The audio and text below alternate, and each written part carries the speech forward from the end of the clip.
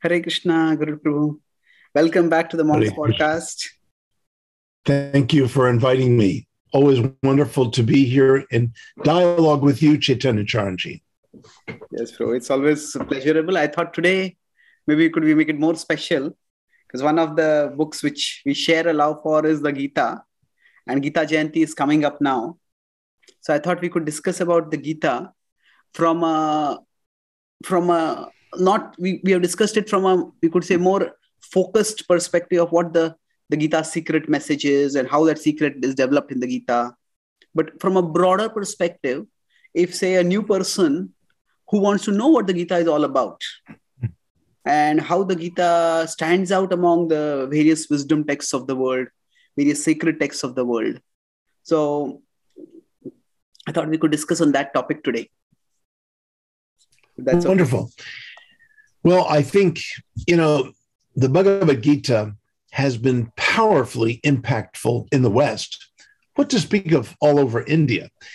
But what fascinates me is how Westerners have really taken to the Gita, where there are hundreds of translations of the Bhagavad Gita since 1785 with the Charles Wilkins translation in England. And since then, sorry, tra- yeah. See, from an insider yeah. perspective, that there are hundreds of translations, we may say, oh, they don't give the real meaning of the Gita, and we might we might uh, be critical about that. But just to look from other perspective, the fact that so many people felt the Gita so important that they commented yes. on it, that itself is significant. Yes. Yes. And they, they keep translating it because they keep trying to get at the meaning. Hmm. I think it's a testimonial that they never quite get to the meaning. And then Srila Prabhupada came along with his translation, and suddenly, sprouting everywhere around the world are bhaktas or persons devoted to practicing the life of the Bhagavad Gita. Mm. To live the Gita, to live the Gita's message. So that's that's an important distinction right there. How the effects of different translations um, really can be seen. But let's go back to the starting point. The major sacred texts of the world. The Bhagavad Gita is seen among the two other ones, the Bible and the Quran. You know, the Bible has 31,102 verses. That's a large book, 31,102 verses. And the Hebrew Bible itself has 23,145 verses. Whereas the New Testament has 7,956, close to 8,000 verses. Still a lot of verses. Hmm. The Quran comes along and it has 6,236 verses. So it's still smaller than the New Testament. The New Testament's smaller than the Hebrew Bible. And then the Bhagavad Gita comes along and it has only 700 verses. I mean, it's a, it's a tiny little text compared to the Quran. The Quran is smaller than the New Testament. The New Testament is smaller than the Bible. So it's very interesting to compare the, yeah. the, the, the, sheer uh, the, you know volume differences among the three. But but look, here's the thing. Each of these scriptures, the Hebrew Bible, the New Testament, and the Quran, they sound like scriptures to the Western ear. They sound like scriptures. Listen to the, the book of Genesis. In the beginning, when God created the heavens and the earth, the earth was formless void, and darkness covered the face of the deep, while a wind from God swept over the face of the waters. Then God said, Let there be light, and there was light. Well, this is the this kind of cosmogony, you know, this mm. kind of creation of all the universe, the whole universe. Wow, sounds like a scripture, Chaitanya Charanji, wouldn't you say? I mean, it's, yes. it's, it's very, very dramatic, right? Okay. True. So, but then let's move to the New Testament. The Gospel of Mark, the beginning of the good news of Jesus Christ, the Son of God. As it is written in the prophet Isaiah See, I am sending my messenger ahead of you who will prepare your way. The voice of one crying in, out in the wilderness. Prepare the way of the Lord, make his path straight. So, immediately in the Hebrew Bible and in the New Testament, this, this is from the Gospel of Mark, the first gospel writer. What you've got is a kind of front loading of the divinity. You know, God is right up front. I mean, he, the announcement of God, his power, um, uh, the name of Jesus Christ, and the validity uh, confirmed in an older uh, book of the Hebrew Bible, the book of Isaiah, um, anticipating the arrival of the Messiah, who is Jesus Christ. I mean, this is very much a proclamational type of writing. Okay. And then you get that also, you know, with the Gospel of John, the more Gnostic, mystical writing. In the beginning was the Word, and the Word was with God. The Word was God. He was in the beginning with God.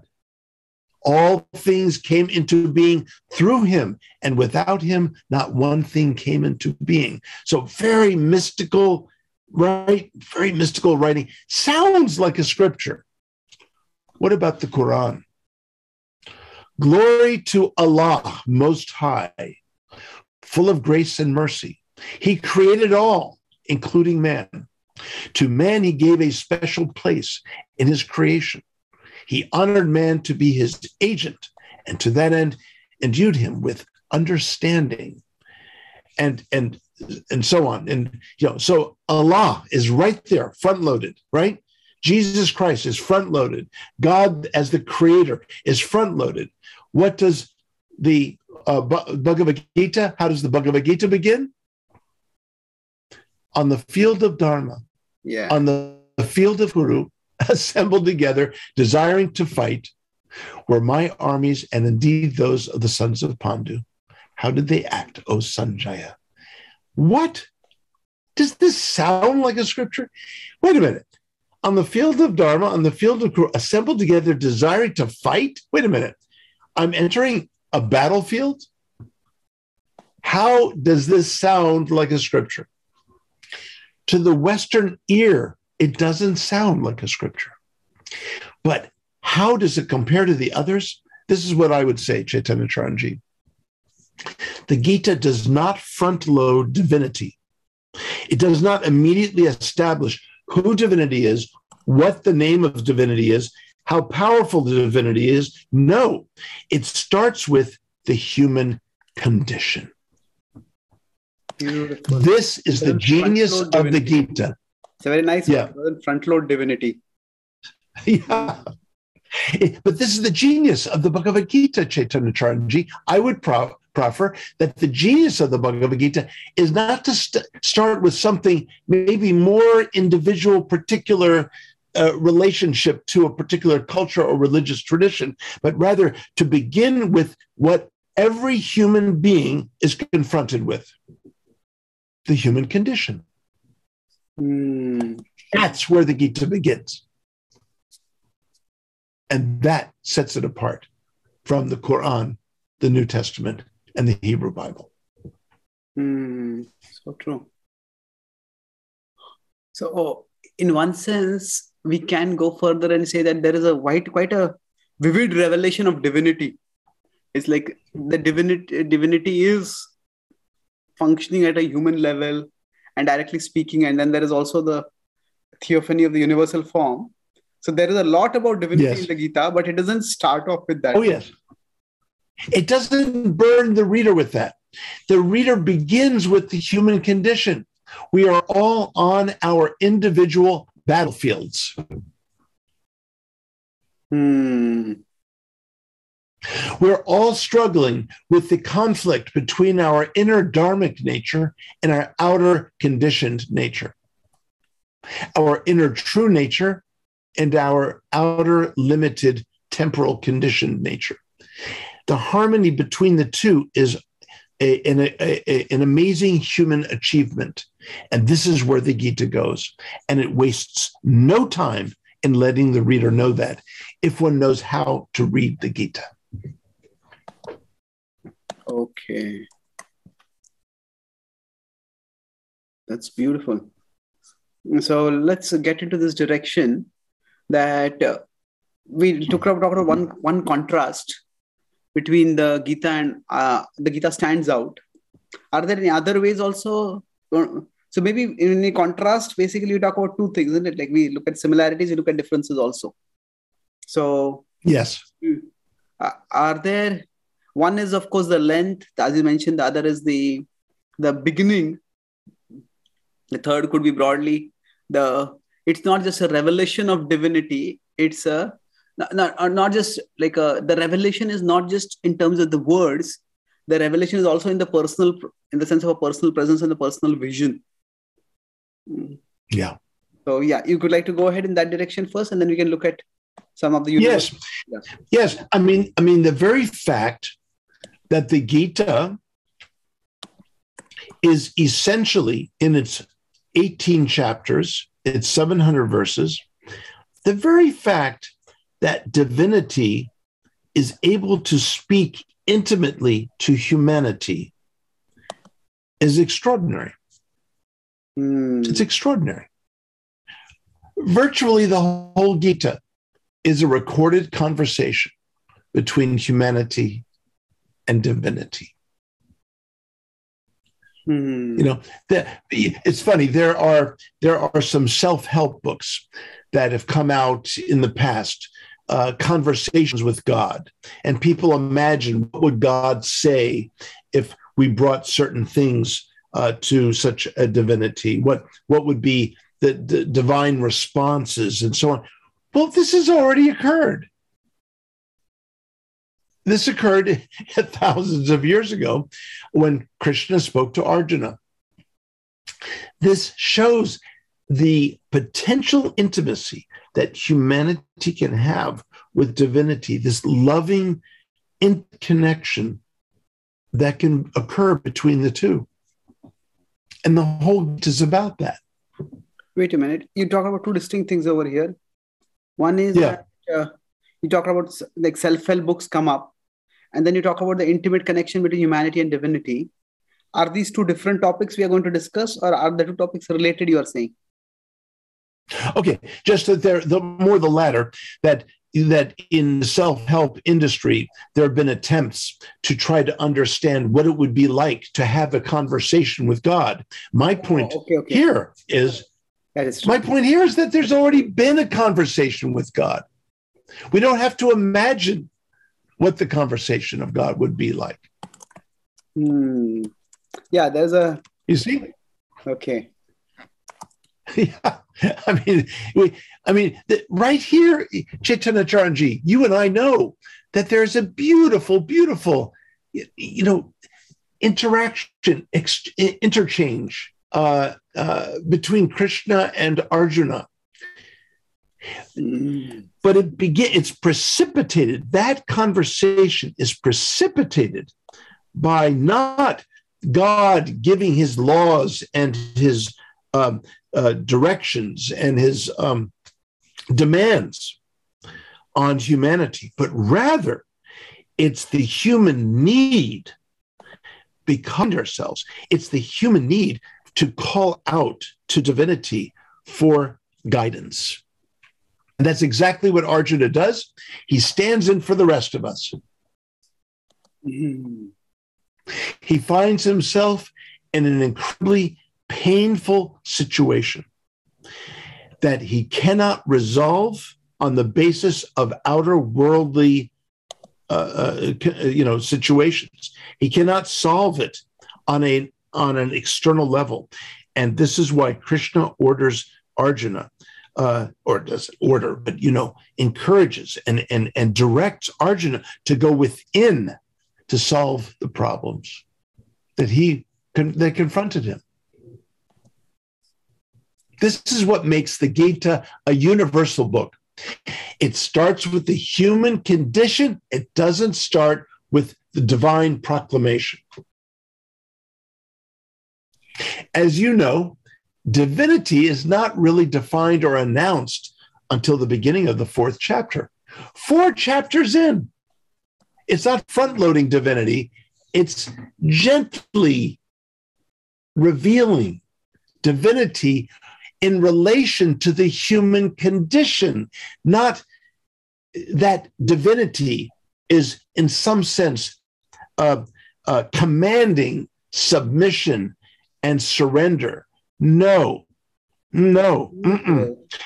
Yeah, It, it's, it's almost like in the fourth chapter, Krishna's self Yeah. is almost incidental to addressing Arjuna's question. So Exactly. Beautifully put. Yeah, exactly. Mm, so the question about the dilemma, you know, I am faced with the ethical, emotional, existential conflict over here. What am I? What is the right thing to do? And answering Right. that question, Krishna uh, develops a answer very systematically, and then Yes. moves forward. So moves forward till it brings you could divinity is you could say brought up front from the seventh chapter itself. So Right. there was one devotee with whom I was talking that in one sense, the Gita contains wisdom which even uh, atheist can appreciate. So now Yes. I, I was a little taken aback by that thought initially because I was thinking at one level, unless you accept the basic premises of spirituality, even if somebody doesn't accept God, at least they have to accept the idea of Atma, the idea of there is something imperishable within us.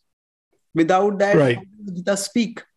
But then we were discussing a little bit further. So what he he was making the point that the Gita, uh, in one sense, the Gita is foc- the, see, there is the focus is how to live, and the philosophy is like a build up to reinforce the guideline about how to live. Yes. So, in one sense, the Bhagavad Gita also addresses many different philosophies. It has its own philosophy, but the guidelines about how to live. So, for example, the framework of the three modes is something which any thoughtful person can appreciate, even if they actually don't uh, don't you could say to use a contemporary language buy into the the business of the soul and God. Still, that's Yes. you can appreciate. So there is much like that. It was Yes. a, a paradigm altering concept that so like Prabhupada at one level gives us a presentation of the Gita based on centered on Krishna. And yes, that is like Yes. a conclusive presentation. But at the same time, for those who are not ready for that, it is not one zero. The Gita doesn't reject. If you don't accept Krishna, then there is nothing in the Gita for you. Gita's approach is not like that. Right. Hmm. Beautifully put. Uh, that is exactly right, uh, Chaitanya Charanji. Um, the Gita, be, yes, it's it's completely understandable how a non-theist or an atheist could take to the Gita and say, "This is really valuable literature." You know, it could be very meaningful to such a person. Why? Because it starts with the human condition. It doesn't, in some sense, urge or even force a reader to accept the identification of divinity. This is not required in the Gita. Hmm. Prabhu, Prabhupada even asks his reader in the introduction just accept that this is a dialogue that actually happened and see what kind of effect it has on you. You know, at least accept it theoretically, see what it does. Hmm. because these 700 verses that, that can be read within three hours easily Hmm. are powerful. They are powerful verses that elicit um, universal messages, important universal messages.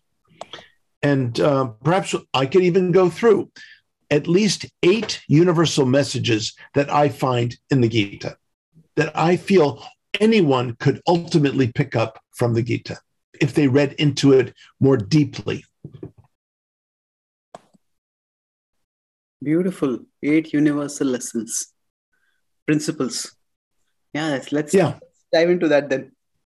You You want to dive into that? Okay. Yes. Okay. Let's let's get ready. Okay. The first universal principle is much of what we have already just spoken. Quickly, just reviewed as the first teaching, which is there is conflict when the inner nature, the true inner nature, and the conditioned outer nature of the self come together. The essential teaching of the Bhagavad Gita is to bring these two natures together in a harmonious union. That's called yoga. Mm. To bring our inner nature and our outer, outer natures together, that's called yoga. See, now this begins with the human condition. You see that? Later, we'll learn that yoga means even much more than that. But this is the first um, uh, universal message that I find in the Gita.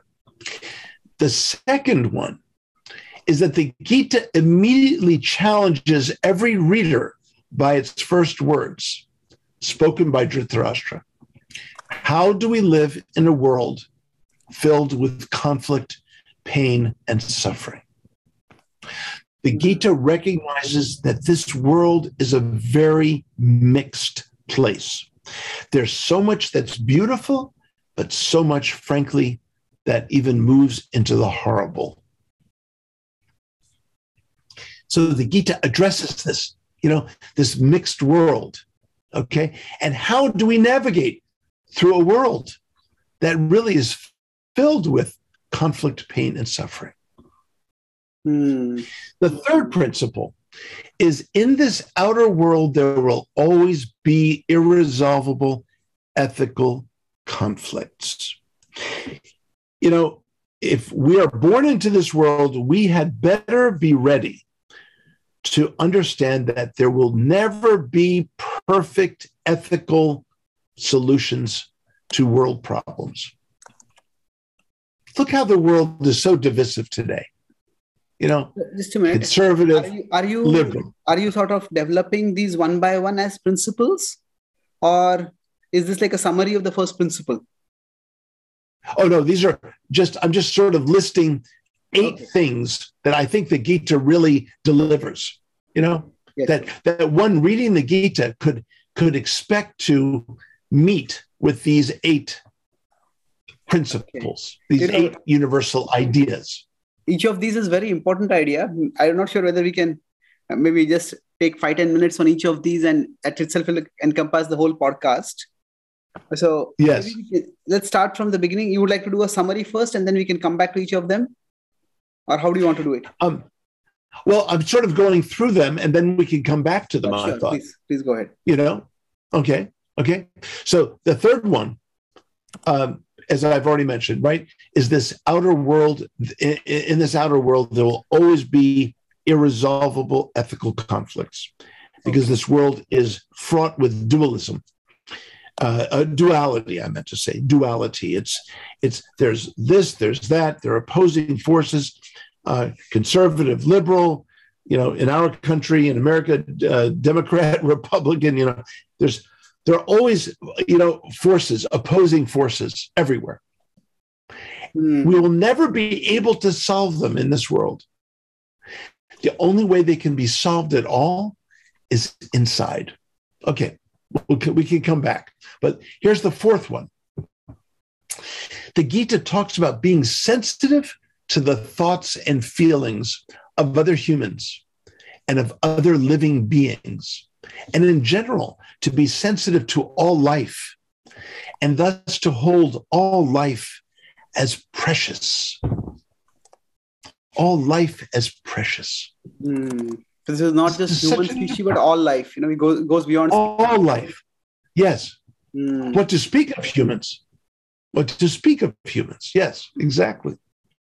So the Gita really um, calls our attention to life itself, the life energy um, that goes beyond the temporal world, but that moves through the temporal world.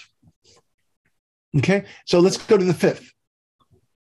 That's nicely put. The fifth is ultimate reality embraces us everywhere from the space within Purusha, from the space without as the Vishwarupa, and further as Brahman, Yet from within the deepest space of the heart, the divine calls us to come to him or lovingly submit ourselves to him. Mm.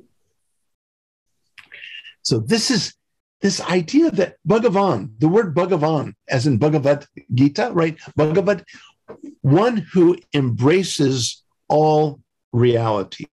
Bhagavad Gita, all aspects of reality. One embraces all aspects of reality. This is the divine, this is the image that the Gita has of divinity, the one who embraces everything. Okay. So again, I feel this is a very universal message, even when it comes to divinity. Number six, Mm. the divine is calling us, and it is a matter of whether we can hear the divine. Krishna speaks about souls offering themselves to him or even coming to him throughout the conversation at least 22 times. Krishna, throughout the Gita, is, is preoccupied with the idea that souls can come to him, they can return to his nature, can enter his form of being to interact intimately with him. And the Gita itself is demonstrative of that in the conversation between Krishna himself with, uh, in, uh, with Arjuna. So there is this longing from and yearning from the divine for us to come, for humans to come to uh, divinity, to come closer to divinity. Then the seventh, the most intimate connection with the divine is available to humans, but it is the greatest secret of all secrets, and it is the Gita's supreme teaching of yoga. Okay, so this gets into uh, this incredible, lofty achievements that humans are capable of if they apply themselves to the practice of bhakti. The idea that there are many relationships to be had with all reality and with the source of, of all reality, the divine. And so the Gita really tries to invite, it's an invitation into the most intimate aspects of Godhead. Mm. It's an invitation, it's a calling. And then lastly,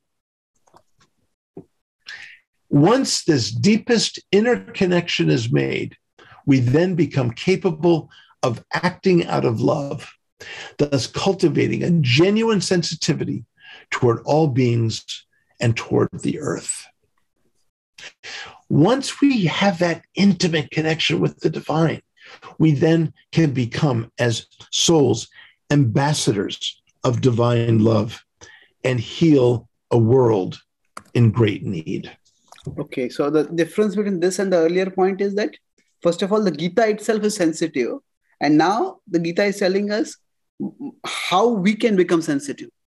So it's more Yes. like a intellectual and then transformational. Yes, Okay, well put. that's very nice. So you see, here's the point, Chaitanya Charanji, that the Gita, so much can be gained from reading the Gita in strengthening the true self, in growing the true self, in the blossoming of the true self in relation to the whole of reality and to the most intimate dimensions of divinity. And this is really such a beautiful, beautiful, um, uh, you, know, vision that the Gita has. Um, but it takes many, many, many readings, and ideally, it's a reading uh, with a teacher, and um, a reading from a teacher uh, with a bhashya and illuminations that really uh, uh, uh, go deep into the reader. Hmm. Makes sense.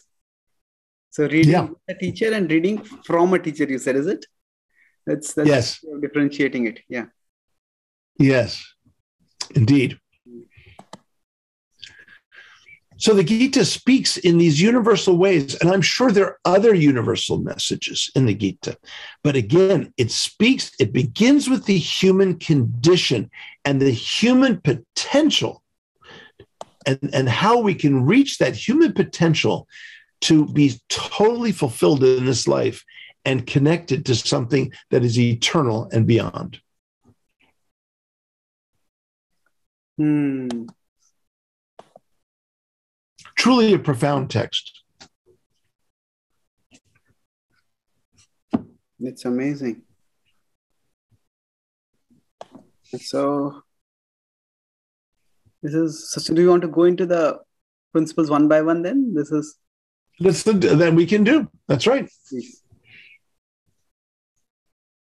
The first one, Chaitanya Charan, Just, just before was what we already talked. So, just to make one point, Yeah, that Sure. in one sense, it's an art because our tradition is quite specific. There's a specific conception of a specific, not just a conception, but a visualization of divinity. It's very, very specific. And sometimes the specific, many people just equate the specific reflexively with sectarian. So yeah, now that is itself, I think, a philosophical subject, whether the spe- something specific makes something sectarian or not but that's why it's almost a it's almost art in itself to how to preserve the specifics of our specificity of our tradition while also presenting its universality i think what you're doing Right. is, is you know the eight principles you're talking about and we're trying to do that over here in one sense Right. present the uniqueness or the specificity in universal right. That's right. That's right. Yes. Um, uh, sometimes people get nervous with specificity. You know, the, the, the way the Gita can speak about, you know, Krishna's different manifestations and his different ways in which um, divinity um, can embrace uh, humanity. And yet, there is something kind of paradoxical there. Within that specificity, of the Gita, uh, of the Gita's articulations, there is something universal at the same time. And I think that's what that is, I think that's undeniable. And I think that people in the West um, find the Gita just so endearing. One who sees me everywhere and sees all things in me, to such a person I am never lost, nor such a person ever lost to me how how can one read that and not feel the love of divinity. Hmm. That's it rings so true to the heart and that is why i think people can read the gita in the west and not get bogged down by mere specificity but rather within this particular uh, special articulations, particular the particular uh, specifications of divinity, there is universal relatedness in it. Hmm. That's very beautifully put. So overall, yeah, let's uh, let's see if we can uh, see even your book, which you talked about as the beloved Lord secret love song. So what we were doing is that Bhagwan itself can sound like a sectarian term, but the beloved Lord Yes. is quite universal. And then Gita, and you're talking about the bhakti message of the Gita. Now, in one sense, if I'm not mistaken, the word bhakti is often seen in a universal sense, at least in the Western world. Yoga is, of course, seen as universal, but bhakti also Yes. is seen as universal. But still, if we, we talk about a secret love song, the idea of love being presented in that way and the song of the Gita, that makes it, that's itself as a good ex- ex- example of how the specific can be presented in universal terms. Mm. Yeah. So let's maybe go go ahead Yes. one by one then. Yes. Um, yes, you know, it is it is love coming from the divine. When focusing on the love coming from the divine, this suddenly allows one to break out of specificity into universality. It is love that it is but when you talk about cosmogenesis you talk about doctrine you talk about this and and and um uh, and, and different practices and so on those things will vary those things will vary from culture to culture religion to religion those are are transcended is when one talks about divine love oh okay so he's lost you for a minute he says those cultures are transcended when we talk about divine love was that your point I lost you for about 20 seconds. Yes. 20 seconds. Yes. Love, love, love breaks down the boundaries of specific traditions with their specific practices. Love is what breaks down the boundaries of, of, of, of okay. religious differences. It breaks down the boundaries of the temporal with the eternal. It, it breaks down the differences between uh, divinity and humanity. It, love is what joins all of this. Oh, okay. And that's why the individual teachings within the Gita are laced and woven with Krishna's loving words to Arjuna. Okay. And that's why he says at the end, don't worry about any of these dharmas because ultimately that's not what's important. Feel my love for you. I am calling you. Please feel my embrace, and perhaps one day you will return that embrace. I've been waiting an eternity for you to return that embrace. I've been embracing you for an eternity. Now maybe now that we're connected in the Gita, maybe you will consider returning the embrace. Hmm. Beautifully put. We'll consider returning. And yoga, yeah, yoga. See, Bhagavan, there's there's Bhagavad yoga. The yoga of Bhagavan is the way he manifests in different ways. There's Vishwarupa, uh, uh, you know, uh, Brahman, Paramatman, or the Antaryaman, and Bhagavan. The, the, the that's Bhagavan yoga. That's, that's Bhagavat yoga. But the, the, the, the, the human yoga is ultimately to return the embrace of the divine, who has been embracing us for an eternity. So, yoga is the return embrace. Hmm. That's the ultimate yoga, is the return embrace of divinity.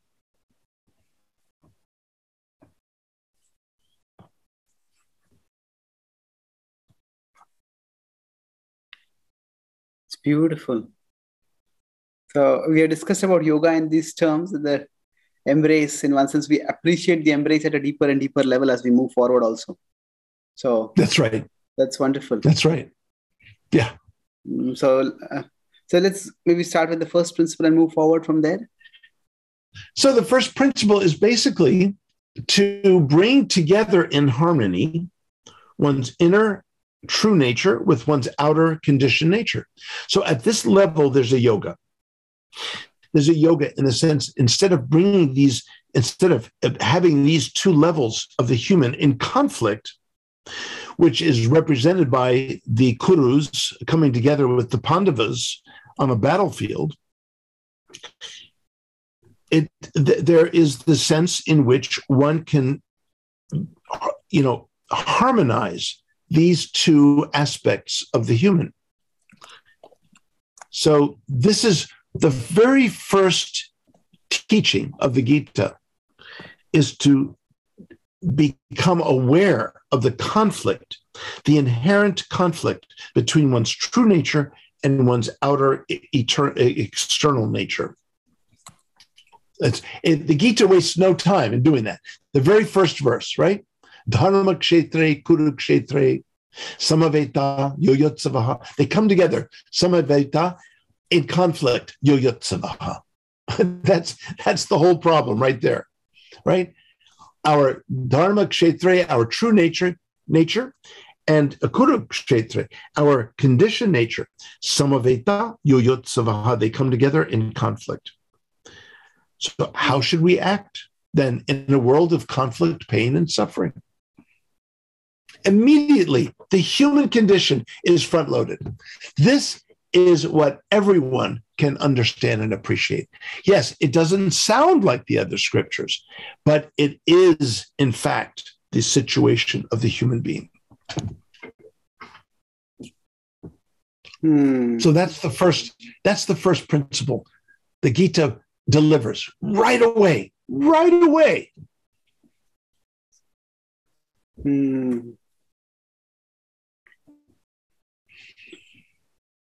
So, at one level, if somebody reads the Gita without this universalist frame, it can seem too specific. Oh, there is some battle that happened thousands of years ago, and there is this battle, and there are these uh, these warriors. For some people, the warriors can the names can also seem unpronounceable. So that's right. but if if one doesn't get too caught in the specifics we could say the few incidents or few settings um, depict the vulnerability the intensity the the uncertainty of the human condition as being on a battlefield so in that sense we could say the human condition is depicted in its in its acutest yes. Hmm. Yes. And you know, you know, Chaitanya Charanji, it's there's no wonder that the Gita would choose one of the most treacherous experiences a human can have going into war. This is awful. This is a, a dreadful, dreadful situation for a human.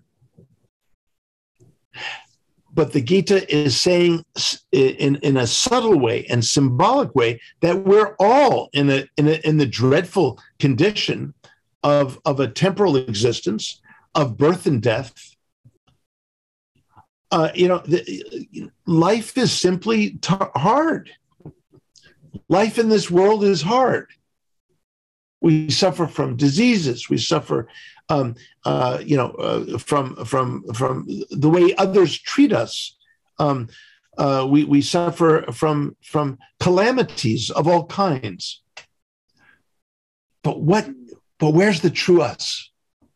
That's the idea. The Gita challenges the reader. Where is the true you? Where is that field of Dharma? Dharma Kshetra. Where is that sphere of purity? Hmm. Where is that? This is what the Gita challenges its reader.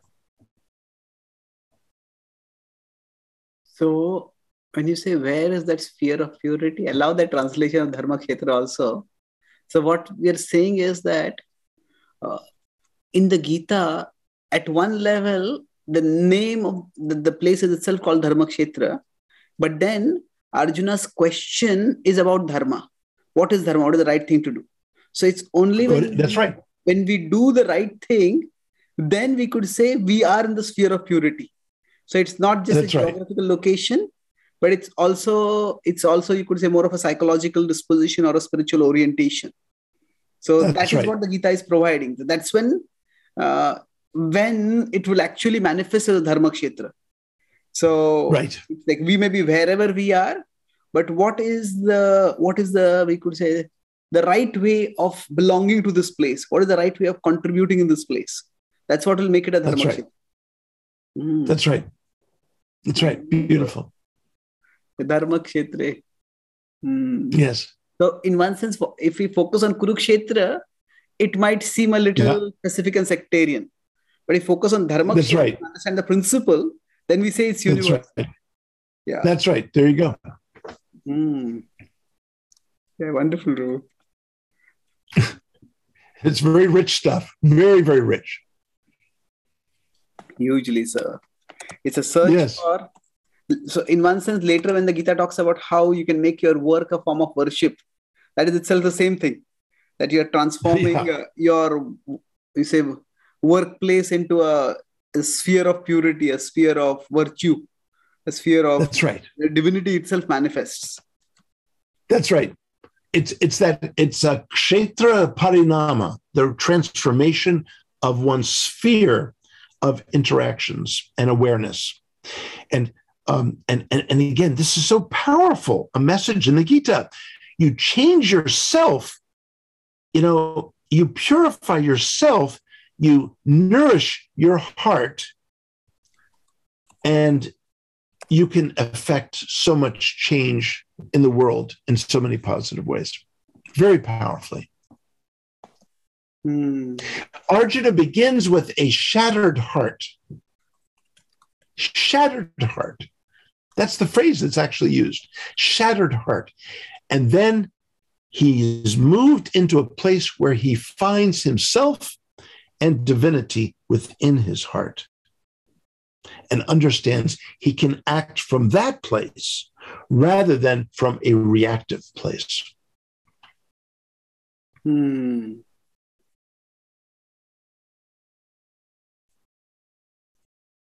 The psychology of the Gita is very complex, Chaitanya Charanji. It's very complex. Here by psychology, you mean the thought process of Krishna and Arjuna, or the what the Gita tells us about our inner world in general? Because it could mean both things. Yes, both. both. yeah. It's it's well, one can get into such deep nuancing of one's understanding of the Gita's profound messages. But the ultimate message is Krishna is yearning for the love of humans. Hmm.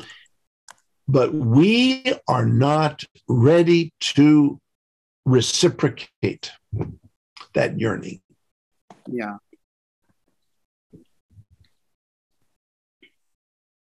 Okay. So I think that is one of the culminating points that will come. Let's go toward that from here now. So one is Okay. the it speaks to the uni, uni, I think the first point was at it, speaks to the human condition, universal human condition. That was a broad first Yes. point. That's right.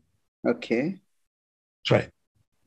hmm So, what, what follows the first idea is the second one, which is how the Gita confronts us with how do we act in a world filled with conflict, pain, and suffering. Okay. The Gita challenges the reader look around you, look how much suffering there is. Hmm. The Gita challenges us. Look how much suffering your body is going to have to go through in this life. What about all the calamities in the world? What about all the, the, the conflicts between peoples? What about the natural disasters? You know, these are the things that confront us. The Gita wants to bring this into the foreground very sharply and understand, have us understand what is our response to human suffering. Mhm. See, when you use the word conflict, pain, and suffering, are you broadly correlating with them the three kinds of suffering, say Adhi Bhautik, Adhyatmik, Adhi Daivik? Or they're just three words? Because in one sense, Um, conflict. I would say, I would say there's conflict, pain, and suffering in all three. okay. I would say, yeah, okay. Because say Adhi Bhautik is primarily conflict, but in conflict leads to pain and suffering. So pain, Yeah, the- the- the- yeah, yeah, yeah, pain we could call Yeah. it a little bit more of uh, related with our own body and mind, primarily our body. And suffering, we could say it's like the broad human condition because of nature, because of forces beyond us. Think- Well, I mean, you could, yeah, you you could you could sort of look at it that way. I I hadn't thought of that. Um, but I what the way I was thinking of it was that, I mean, it, I- these are I think the stages through which Arjuna went in the first chapter. So first, there's the outer conflict, right, in the outer world, the two battling armies. Then this precipitated an inner conflict. And this inner conflict, because it was irresolvable how to deal with the outer conflict before him. So this was very painful. So this conflict turned into pain. And then he tried to work it out rationally how to deal with this. And he found it to be hopeless. And this is the suffering in which he found himself. Um, and so what happened? You know, by the end of the first chapter, he rendered useless. He's, he, he has a meltdown, for heaven's sake. Mm, But then, but then he turns to Krishna. Then he turns to Krishna. Please teach me. Please guide me. Hmm. Boy, was Krishna an amazingly loving and understanding friend. He hardly spoke a word. A couple of words he spoke. That's it. While Arjuna is dumping the contents of his suffering, shattered heart to Krishna. Hmm. Krishna hardly said a thing. Isn't that a good friend who will listen? Hmm. True. He didn't speak. Note that he did not speak until Arjuna was receptive. He did not impose anything on Arjuna until Arjuna was ready. He did not insist on anything at all until Arjuna showed um, a, a, uh, a desire to be guided from Krishna. Hmm. That's true. So in one sense, that's also a teaching lesson over here that, like, what to say? Don't. Uh, what is it in counseling? They say don't. What is it? Don't. Don't advise till you're hired or something like that. Some I don't know Yeah. what saying, but it's like Yeah. while Krishna wants to help, he he helps when Arjuna actually seeks help. Otherwise, Krishna right. lets Arjuna wind himself out. So That's Arjuna right. does his own reasoning, and then he realizes, hey, this is getting me nowhere. That's right. In one sense, and Arjuna says at the end of the first chapter, I will not fight. And in 2.10, he says, I will not fight. Those are two different. One is more of, I have given my decision, but the other is, unless you help me understand, till that time, I'm not going to fight because in between, he's surrendering. Yeah. So, Yeah. so there's a Yeah. external action is the same, but the internal conception has changed. And when that change is there, Right. so we could say also that, like what, what we say that uh, in the human condition and the dilemma and even the trauma of the human condition, the God is there, the divinity is there to help us, but uh, uh, we need to turn. Then divinity manifests and helps. The divinity Yes. doesn't force force uh, on force themselves on us. That's right. By the way, one related question, maybe if you want to go into this. See, you prefer the word divinity to God. I presume that God has certain connotations which may not apply to Krishna in the Bhagavad Gita. That's why you use prefer the word divinity. The word, you know, the funny thing about the word God, even though to a Western audience, God means generally God the creator. But in the Gita, we don't think of Krishna as a mere creator, Hmm, but the sustainer of all reality. Yeah, earlier podcast says creation is like subcontracted to someone. That's right, subcontracted out. Yes, subcontracted out to Brahma. You know, but but you know the word God. It's ironic because the word God in English comes from the old German Gotha, Gotha, and Gotha come the old German Gotha comes from the Sanskrit Huta, the one to whom I make an offering. Huta, the Vedic Sanskrit word Huta. So from Huta, we get Gotha. From Gotha, we get God. But it doesn't carry over the early Vedic That sense sense of the word. Okay. That's right. So the word divinity reflects the word in Sanskrit devata. Devata, divinity. Hmm. Purusham, you know, Paramam Purusham Divyam, the supreme personality of Godhead, right? Purusham, you know, uh, Purusham, Paramam Purusham Divyam. Um, you know, the idea here is that that God, the word God can be used, but it has to be explained that it's not really exactly like the way we understand God. So sometimes in my published writing, I'll do interchanging of the word God and the divine or God and divinity. But I prefer the words, the more direct words that translate deva and and, and devata, you know, the divine, deva, divinity, devata. Okay. And if you use divinity, what pronoun would we use for that? Is it? I, I, it sounds a little too impersonal, isn't it? It does. Um, uh, I try to avoid uh, the sort of gendered pronouns, um, but uh, but uh, you know because gender here is different than gender there. Very true. Yeah. Also, it's not so much going down to the political correctness about not using male gender, but it's also Right. superimposing uh, our conception of A gender limit- over there. Right, right. Mm. But this is this is you know in writing and in speaking, one has to just work the words to make sure that they're doing what you need them to do according to your realization and and, and your and your teaching. So um, this is always a challenge for a speaker and a writer. I like the way we work the words. So in one to work the words. no word may fit the con- the conception or the definition or the whole thought process that we want to convey then we may have to specify this is what we mean when we use this word and then use it like that That's right. That's right. that's true yes true can go ahead so we're talking about divinity let's move forward Yes.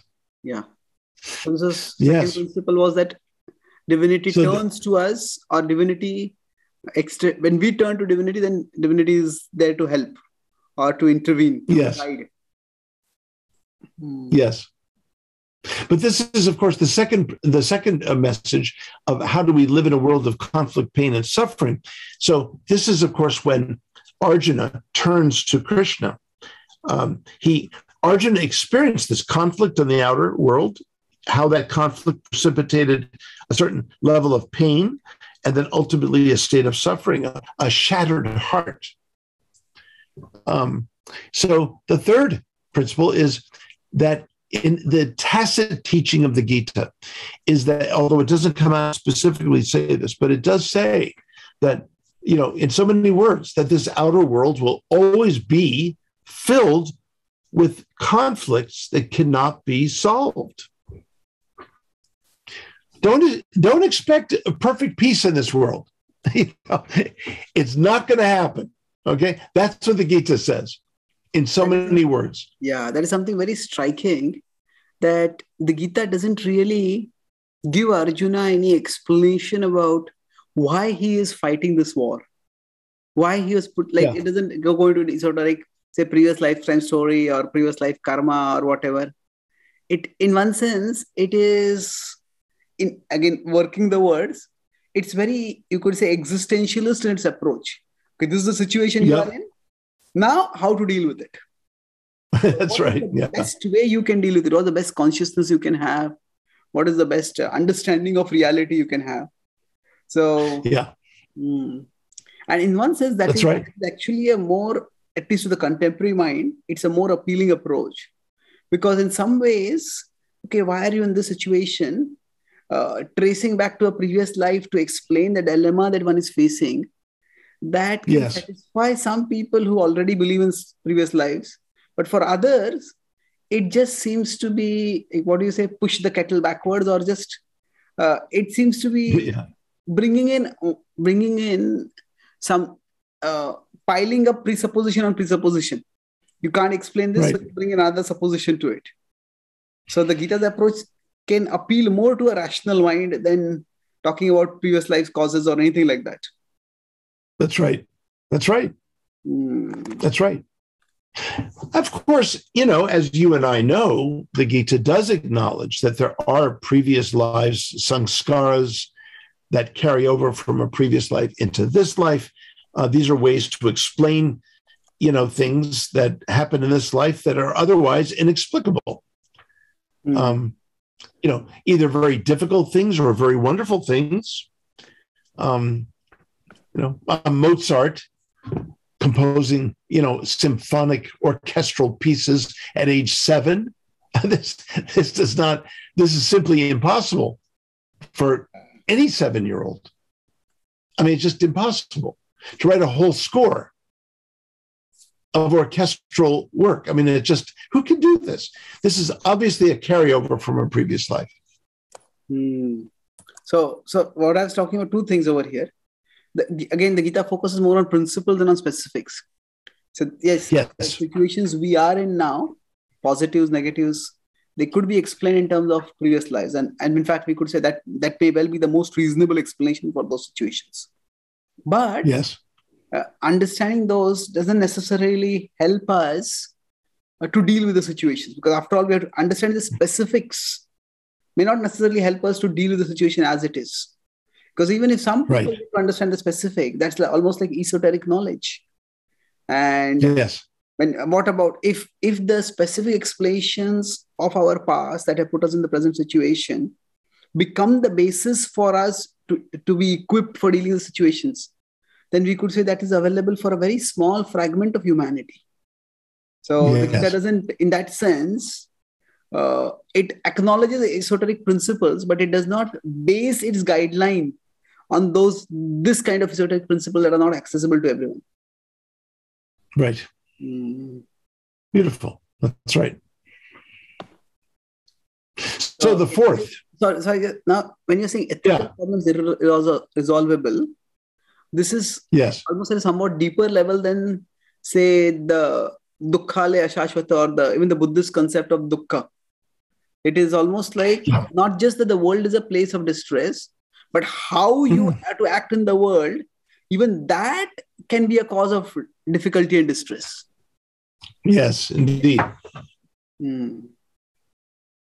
So the first two points we could say are included in that cons- that the human condition is a condition of distress and that to, we need to turn toward the divine. But even if we turn toward the divine, still certain ethical problems may remain irresolvable. That's right. That's Hmm. right. It's the nature of this world Hmm. And for there always to be conflict. Yeah.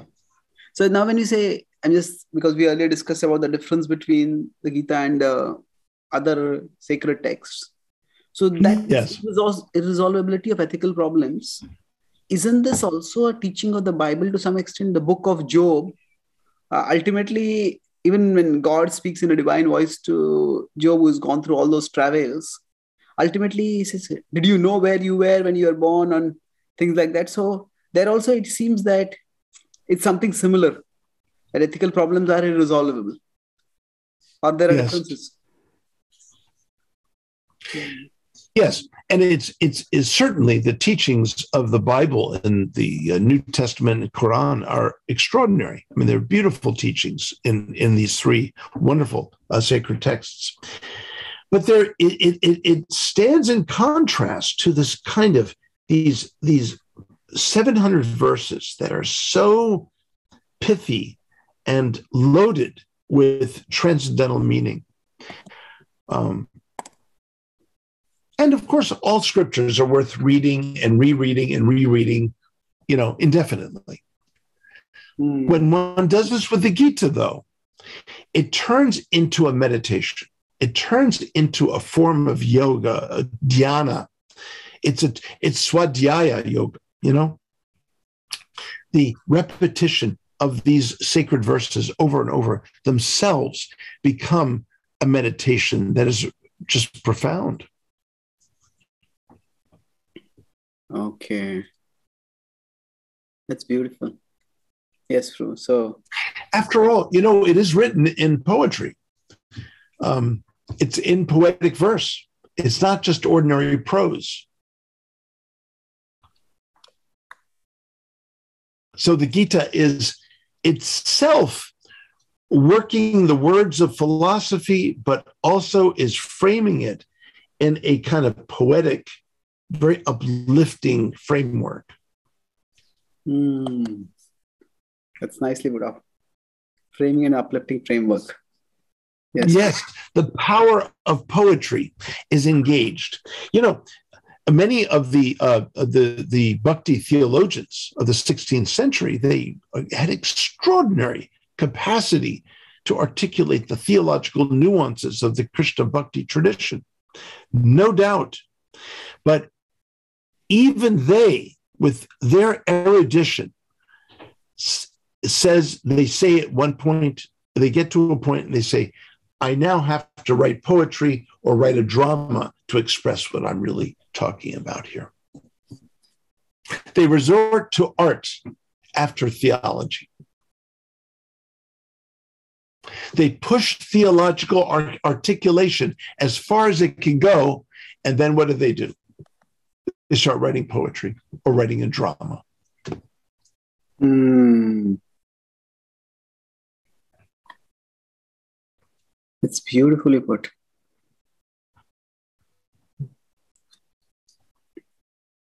So, any reason why fourth, 15th, 16th century? Because in one sense, the Gita dates much further back. Uh. Um, yes, of course. To, to historians, there you know there are arguments back and forth, which came. Yeah, but I don't think anybody says 15th, 16th century. Are they just talking more about the Gaudiya tradition specifically in this context? Oh yes, the the yeah the Chaitanya Vaishnava tradition. Yes. Okay. Yeah, it does seem yeah. from a historical perspective also that uh, Sanskrit poetry had a what you would say a flowering in in that time. Yes. It, and Gaudiya tradition also and other traditions also. It seems that if you consider a little earlier, uh, there is, seems to be some like something like you could say almost a developmental arc arc in terms of sophistication of the uh, compositions.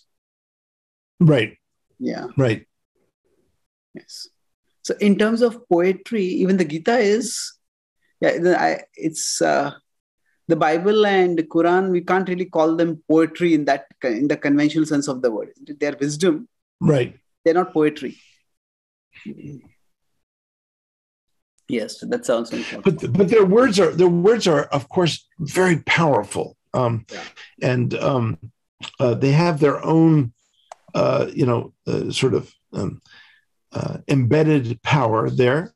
Um, but again, each tradition, you know, is different. You know, each tradition is unique.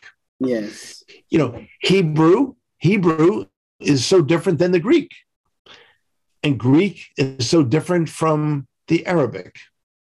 Mm. And Arabic, of course, is so different from the Sanskrit.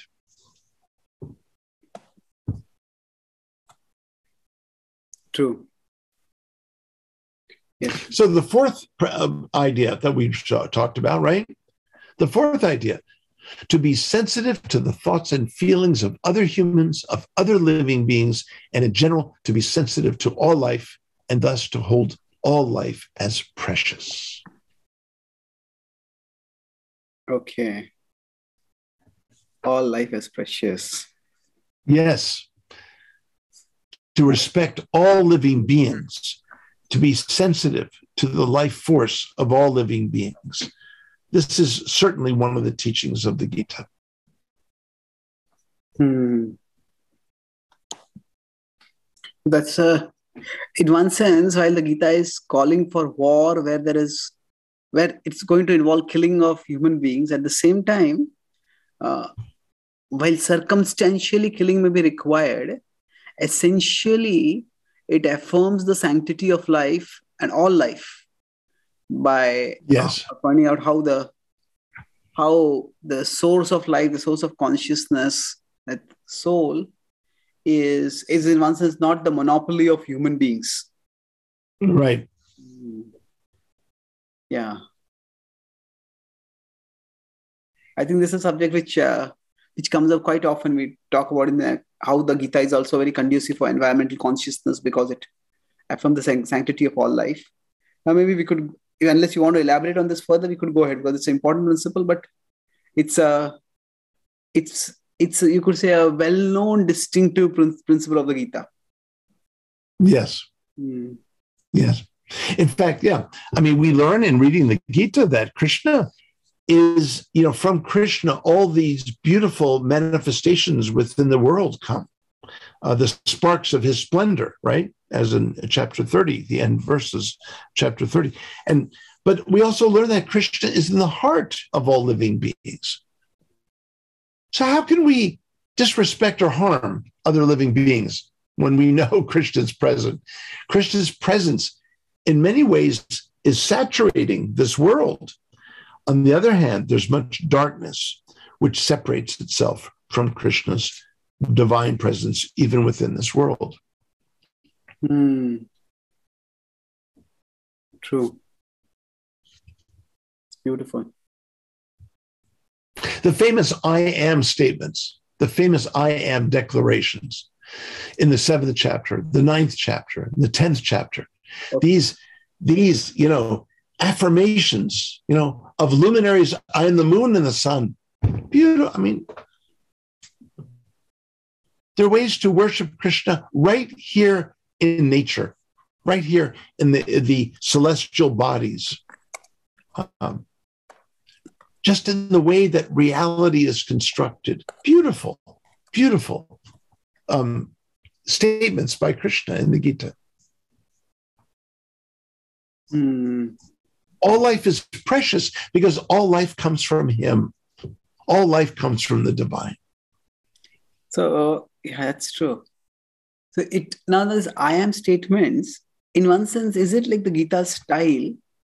The I am is a very emphatic form of self identification without any qualification, and somebody reads only yes. those, then it might almost seem that the Gita is endorsing a pantheistic conception of divinity. So we could say that the Gita accepts pantheism, but it accepts that divinity is something much more than that. And if somebody can That's right. pantheism, then okay, there's something for you also in the Gita. Is that how we see right. the I am statements? Yeah, that's right. That's right. Hmm. It's really not so much pantheistic as it is panentheism, you know? Yeah. Uh, which includes both levels. Yeah. Yeah, uh, that would require us to look at the look beyond those statements itself because those statements don't leave any room for qualification. Like a very direct right.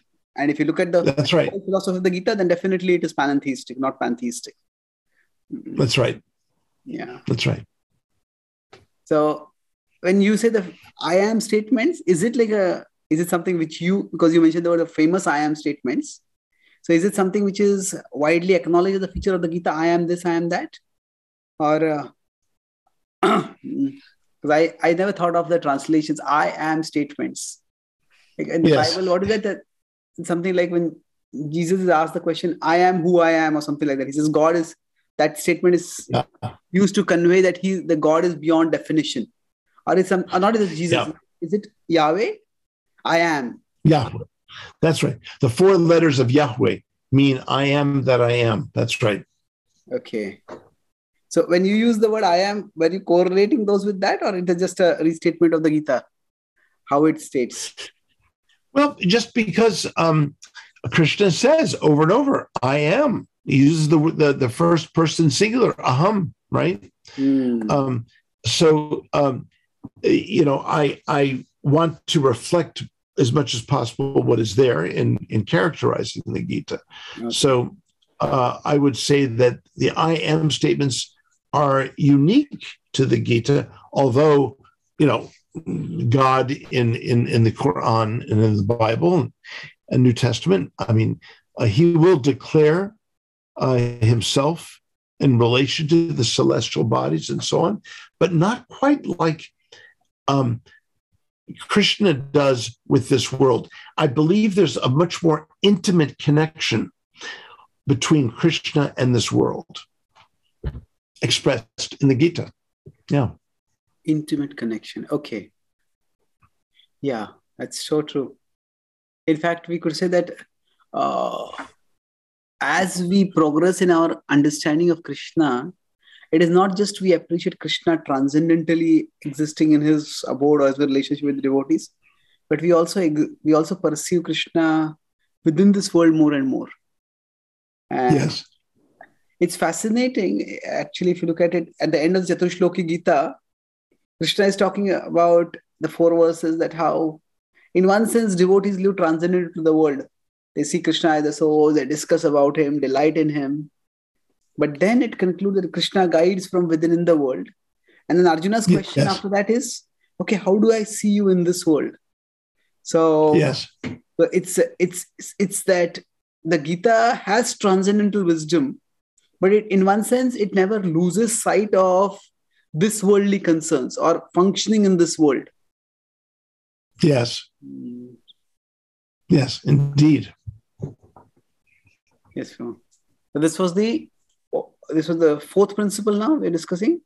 That was the fourth one. Yes, to hold all life precious, right?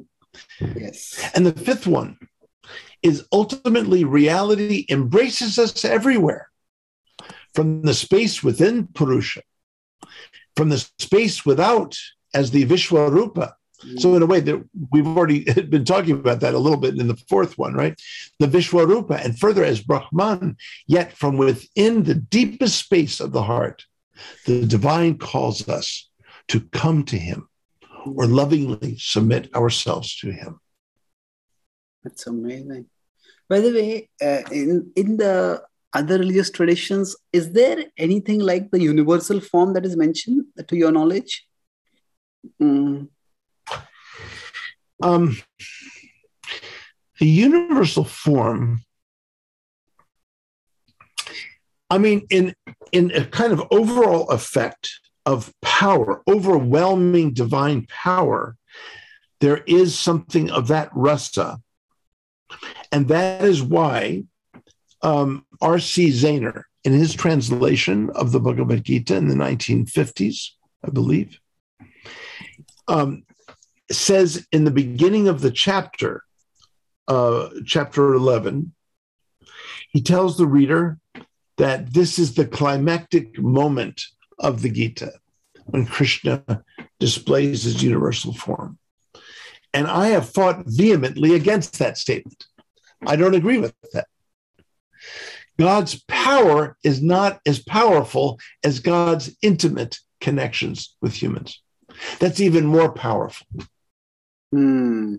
And in one sense, that's why at the end, Arjuna, in one sense, says, I want to see your intimate form.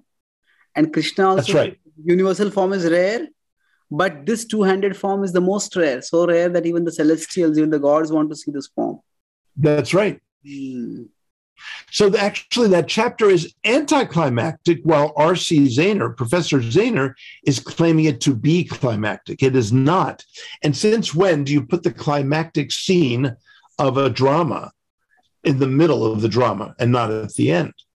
No one does that. It's always at the end of a drama. Mm. And in fact, the 18th chapter is extremely dramatic and extremely intense. Yeah, um, that is true. In its summarizing, yeah. Amazing. Yeah. yeah. So, so broadly speaking, the 11th chapter is definitely not climactic, and it is also not. Uh, we could say the, the the idea of pantheism or some level of God's presence everywhere that might be there in various that is there in various traditions. Omnipresence is also one of the attributes of divinity, but the specific right. of God pervading or God giving a visible manifestation where He pervades all of existence. I, I haven't read anything like that in any of the sacred literatures of any other sacred literatures of the world. Have you? Some vision like this? Not really. Hmm. Not really. Um, it's it's uh, definitely it's uh, that, but we have to acknowledge that each tradition reveals a unique vision of ultimate reality. And and that's and that's fine. Yes of course. But it's it's it's about again it's about the the relationship humans and humanity can have with divinity. Um, and this is where i think the bhagavad gita stands out that there is this kind of direct interaction between humanity and divinity. Hmm. That's wonderful, bro. Now, reality embraces us. So, the, in the Christian tradition, they have the concept of the Holy Spirit. Sometimes I have Yes. heard some devotees equate it with the Paramatma, that God is present everywhere. But I found it a little uh, questionable because in their ideas, the Holy Spirit is something descends when you accept Jesus as a Savior, and then the Holy Spirit animates you and speaks through you.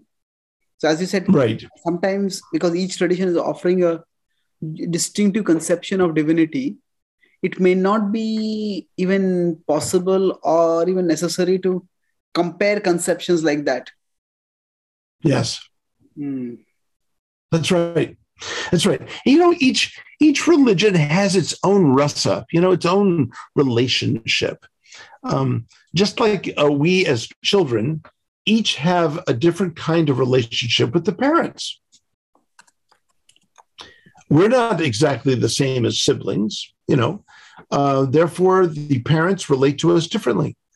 Um, so religious traditions they they will bring out aspects of divinity that will be very different than our own um, even though we may have been more theologically progressive and active than these others. Um, still Hmm. they project they project a certain quality and ambiance of relating with divinity that we need to learn to respect. Okay. Yeah. So we could say that rather than uh, talking about so when we're having say a presentation of the gita in a broader uh, setting rather than talking about the superiority of the gita's presentation we could talk about the distinctiveness of the presentation or the uniqueness of the presentation what our Yes. tradition brings uh, brings specially to the we could say the religious table of interfaith or whatever we want to discuss that's right i like the example of children also each each child having a different relationship Yeah. with the parent Yeah. And not only that, but there are different families of traditions. So there are families in the West, Western, the Semitic traditions, the Abrahamic traditions, the Jews, the Christians, and the Muslims. That's one family. And, and, and those are the siblings. South Asian traditions, that's another family. Um, uh, you know, Vedic Hinduism, uh, Buddhism, Jainism, and Sikhism. And while they all draw from the same colors and the same uh, with the same uh, paintbrush, by the time it gets down on canvas, each one is unique. Hmm. each one And then there's the family of Eastern traditions, Far Eastern traditions, Confucius, Taoist, and um, Shinto traditions. There. So these are the three major families of, of religion. Yeah. can you repeat the three ones which are the ones So there, there's the Western family okay um, of Semitic traditions. okay Um, there's the there's the far eastern ones of Confucianism, Taoism, and, and Shinto. But then there's the South Asian sort of central um, family uh, that goes in between them, and there you have Vedic Hinduism, you've got uh, Buddhism, Jainism, and much later you've got Sikhism. Sikhism, Sikhism, okay. That's interesting. Is Confucianism actually considered a religious tradition, or that itself becomes Yeah. a question of what is a religion? Well, uh, yeah, yeah. Well, I mean, uh, both. Um, it is considered. I mean, I teach when I teach religions of the East, I teach Confucianism for sure. okay. They believe that the way of heaven, the way of heaven, Li, enters into relationships of this world. Okay, so we are defining religion broadly as any any system of thought which talks about aspiring for something beyond this world, even if a, right. there's no emphasis on a conception of divinity. Or actually, by that way, even Buddhism can be called not a religion, but it is definitely a religion in one sense. That's right. Hmm. That's right. Okay. Yeah, I had heard about these two traditions. Uh, there are different ways of classifying. Also, this one is the the sometimes the Western traditions are considered to be more history-centered traditions because they they give a primary importance to some historical events that define and lay the foundation for their traditions and they Yes.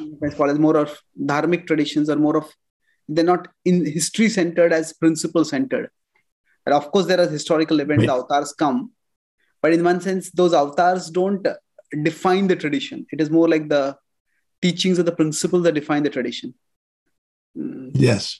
in one sense you couldn't really define christianity without jesus and That's you right. really define Islam without Muhammad, and of course Allah, but Yeah. specifically. So, yeah, so that was one classification I had heard. I suppose then when you're talking about the Eastern traditions, even they would be focusing more on principles. Isn't it? Yes. Confucianism, yeah, you could say it might not have been there without Confucius being there, but then he's not the center of the teachings. Right. That's right. Yeah. That's right. Yes, bro. Yeah. There's some speakers that that uh, deliver m- messages of the tradition, and other speakers who are themselves the focus or the center of the tradition about which they are speaking. Um, so um, they're teaching it and revealing it at the same time. And such is the case with the Gita. Yeah, that's true. So, but at the same time, then we understand that Krishna is, when Krishna is revealing himself, it's not so much about history, it's about transcendence. And he's talking Yeah. about. So, the from the Gita's perspective specifically, the specific time when Krishna appeared and the specific activities that Krishna did in Vrindavan, from the Gita's perspective, I'm saying, we can't really divorce everything, but from the Gita's perspective, they are themselves not that important the, the Yeah. somebody can appreciate krishna and the gita even without necessarily going into the, spe- the specifics of the bhakti tradition that are described elsewhere the conception of That's right. is complete in itself in the gita That's right. Yeah. Beautifully put. so you're saying that uh, so we discussed the principle of how reality is enveloping us and that connection Yes. that uh, uh, embracing us and then we discuss a little bit about the how there are different conceptions of what embracing us means and That's right. that's the fifth one You That's right. yeah Yes. So the sixth one, right? So that was the fifth one, right? That uh, we are being embraced. So the sixth one naturally follows, which is the divine is calling us, and it is a matter. It, is a matter whether we can hear it or not. Um, Krishna speaks about souls offering themselves to him or even coming to him throughout the conversation at least 22 times. So this is a powerful sub theme, but it seems like a major theme at the same time. Krishna is talking about souls coming to his heart, souls coming to his state of being. by this 22 times you're are you talking more about mam upetya krishna saying come to me that those are the kind verses you're talking about Yeah, that's right. That's right. Hmm. He's preoccupied about those who come to him. Why? Because he wants, he desires that.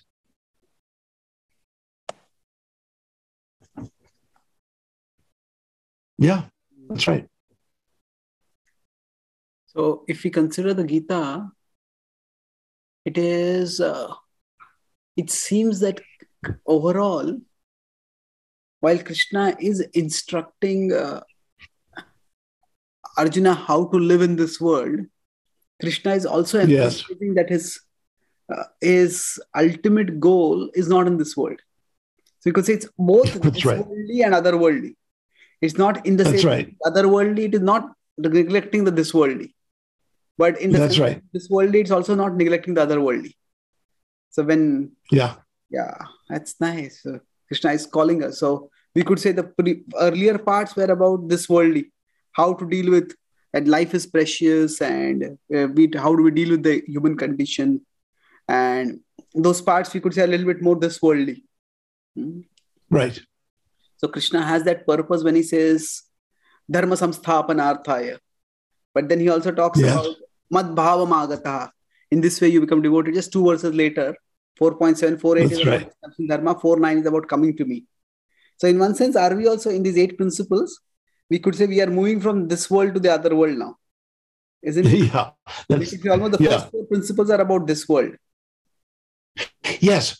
The, first principles are- are from this world and then moving toward the other world, but then finally going back into this world in the end. As ambassadors of divine of the divine heart. Okay. As ambassadors, the divine heart. Okay. Yes, indeed. That's So that would be the last principle, right? we'll come to so in one sense we look at this world differently then we look at the law differently and then once we look at the divinity then we become as i said ambassadors or channels channels for for maybe bringing a positive divine change in this world Indeed. Hmm. Yes. yes true that's beautiful maybe we can go ahead and discuss then Yes. So the seventh one is um, the most intimate connection, as you said earlier. Yes, it's moving to that other world, but then in number eight, we'll come back to this world. The most intimate connection with the divine is available to humans, but it is the greatest secret among all secrets. And it is the Gita's supreme teaching of yoga. So we have talked about this in other podcasts. The supreme secret of yoga, Sarva Guhyatam Bhuya, Shrinu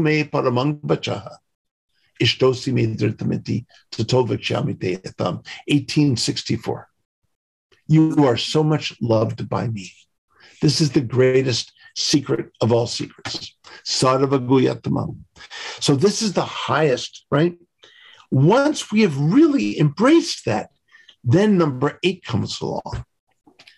And we become ambassadors of that supreme secret. In fact, Krishna says, one who explains the supreme secret to others is the dearest devotee to me, is most loved by me. He says that. You know this, these verses. Hmm. that's in fact Is the most loved. the gita Yeah. Hmm. So true. Yes, true. So these are these um, uh, principles. So let, let's uh, also, in the interest of time, let's move to the number eight, where I say yes. Once this deeper, deepest interconnection is made, Sorry, I just we then become calling us yeah. the, divinity is calling us on the sixth, and the seventh was the Okay, so divinity in the sixth is calling us. The seventh, we have finally embraced uh, this this divine yearning. We've understood this divine yearning, this divine calling. We hear that um, uh, that uh, we've realized that the greatest secret of all is that divinity loves us and yearns for us so much, and we're connecting with that. So once we've realized that, then we this deepest inner t- connection is has been made. We then become capable of acting out of love and thus cultivating a genuine sensitivity toward all beings and toward the earth. So we become ambassadors. We return in effect to deliver this message of of ishtosi Medritamiti, this supreme secret of yoga this um, uh, uh, greatest secret of all. You know, Guhyam Param Yogam, the greatest secret of yoga. Uh, uh, uh, you know, Sarva Guhyatamam Bhuya, the greatest secret of all. The Ekagra, the single highest point. These, when we've grasped these, we return to this world and we become ambassadors of the divine heart. Hmm. That's beautiful. I remember you had mentioned some point about human human being human form being an opportunity. Is this within the seventh itself, or that's the next one? Because not something like a human in humanity in humanity has the opportunity to reciprocate with divinity. Was that one point? Oh, oh well, it, it, it- now that point um, is really, I think, implicit in seven. That that the the most intimate connection with the divine is available to humans. Okay. So, yeah, in one sense, this also, you could say that while we acknowledge that all life is precious, this is also giving a special place for humans. So yes, in one, sometimes exactly. I think the Christian theology is applied, or we could say misapplied, depending on how you want to look at it, to to claim human exceptionalism. So the Gita does not really accept human exceptionalism and that humans are special, but we could say that not that humans are special in category, but rather yeah. humans are more special in degree. That the same spirit yeah. is manifesting in all living beings, but it's the consciousness of special manifested to a special degree in humans. Right. Beautiful. Yes. Yeah. By the way, just a quick thought that in general, within the Gita, Krishna does not talk about the speciality of the human form. It's almost assumed because he's speaking to a human being, and it is a yeah, that's right. That is a discussion, isn't it? That's right. That is interesting. Yeah. Yeah. Okay. But but yes, and but you know, be, Arjuna really is standing in for the rest of us, and so um, you know, we we we don't have Bhagavad Gitas with chipmunks. I mean, we you know, I mean, it's it's uh, there are no chipmunks uh, that are in in stress. Uh, the way Arjuna found himself to be in stress. So, so, so yeah, it, it is it is very much a uh, a human privilege to be in connection with all ultimate reality. I mean, this is this is a human privilege. We're not instinct driven animals. We are animals that have been um, uh, given an opportunity to transcend animal life. Okay. That makes sense. Beautiful. So, what would be the contra word we could use for if not instinct? What would be the word we could use for describing? Yes, we are very conditionable beings. So we don't act out of instinct, we act out of conditioning. Then the question becomes what conditioning? Are we conditioned by the divine? Or are we conditioned by the forces of the world? Hmm. We are condition driven not instinct driven. Animals are inst- primarily instinct driven. Yes, they also can find some conditionings and so on in the one life, but but humans, the the the power of culture, the power of of education and knowledge is extraordinary. Um, and those things can either be used to elevate the self to transcendence to divinity, or for further, you know, um, shackling uh, within this limited world. That's why when when we are connecting with the divine yearning of divinity, when that really, you know, just saturates our being, we can then return to this world with being conditioned by that yearning. That is the ideal condition of the human. Mm, beautifully put. Yeah. But I, I have to go soon. So maybe we should uh, wind things up with your beautiful summary. Yeah, please. yeah. Mm-hmm. So, that, so did we discuss the eighth principle? The seventh was that we have the intimate relationship. We have the potential for the. Yes. And eighth was is is that we come we we we are able to bring this we this, become ambassadors. um, we can act out of love. We can truly act out of love in this world and we can become ambassadors and we can be genuinely sensitive to all living beings and even the earth. Yeah it's beautiful. In one sense krishna says that he first says suhridam sarvabhutana and the well-wisher of all living beings that's 529 but in 1213 yes. he's talking about his devotees he's saying Adveshta Sarvabhutana Maitra Karuna Evacha. So in one sense, the same yeah. quality of divinity is manifesting in those who are connected with divinity. So yes. Could you even say that Prabhupada manifested this when he was there with us? He was manifesting Absolutely. love of uh, Absolutely. Love of Prabhu, love of Krishna to the world. Yes. Hmm. He brought this message to us. He showed us that this is what Krishna desires most ardently. This is what Krishna. This is what Krishna desires us to become. What Krishna wants Yes. us to become. Yeah. That's right. Yes, true. So, so we could say this is the culmination of human potential. What human beings can, what we can be, and what we can do in the world. It's not just about turning towards God, but it's also about becoming who we are meant to be at its fullest level when we become ambassadors Yes. for God. So it's not just like self-realization in the uh, otherworldly sense, but we could say it's almost like self-actualization or self fully actualizing our potential in this world also. Yes. Hmm.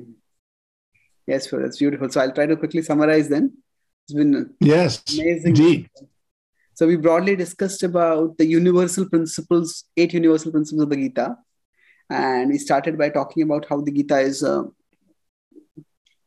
Gita starts with it. It is somewhat different from other sacred texts, whereas which Yeah. sound like scripture because they start with uh, divinity speaking, whereas here it is with the human condition starting. So in that sense, it's not say it might not seem like a scripture, but it is like a scripture which very much addresses the human condition.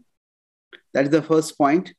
And then in that connection, and we also discussed a little bit about when you're articulating these eight principles, we're taking universal. Yes.